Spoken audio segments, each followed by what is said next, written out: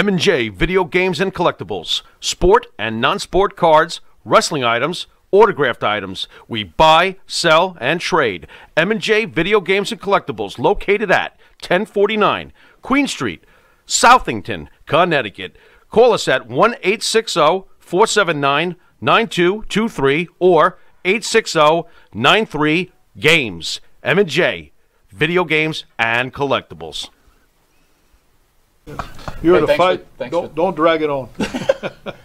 You just you mentioned Jim Crockett. We lost him recently. Yeah. Uh, can you share your feelings on Jim Crockett Jr.? Jim was a good guy, but he was, you know, I think he was a little bit gullible when it come to Dusty controlling and everything. Mm. And Flair, you know, they would they were ready to take advantage of him. I think. Uh, they convinced him to buy jets, airplane, you know, and uh, all the things that we're doing and promoting, you know. And but Jimmy even bought Dusty a brand new uh, Mercedes Sports One. You know, the he was mesmerized with him, and uh, you know the guy was booking cards with 30, 40 guys on it. I mean, come on, you know, it's not quantity of matches; it's the quality of the matches. You know, and he had all these chain match, cowbell match. Ah, my geez. And uh, I knew a guy that worked. His name was Sandy Scott. He was the guy in charge going bringing the money back and taking care of the, you know, show at the building, make sure everything was going okay. And he told me, he's a good friend of mine. He says, I saw it coming. He said, I'm seeing it coming. You know, we bring home $90,000, we lost 30000 Don't make no sense, you know.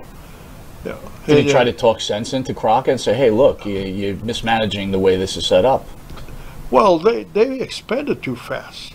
And when you move up this in this direction up here, things are much more expensive than it was in the Carolinas, or South Carolina, or Virginia. You know, like they say, hey, you put a ring up for three hundred dollars in, in North Carolina, you know, and it costs you four, five, six thousand dollars here just to put up a ring because it's unions and it's big expense. You know, So, so you know, it's funny you say that. So if you watch these wrestling documentaries, right, Yeah. and they have Rhodes on there or Flair, they're like, if Crockett just would have stayed in the Carolinas, Oh. we'd have been fine. But you're saying they're part of the reason this all happened. Yes, yes. Well, and and and that's why Dusty wind up wrestling up here with polka dots, because he used to knock Vince on every interview we did in NWA. Sure. He always put a dig, and Vince is a genius. Right.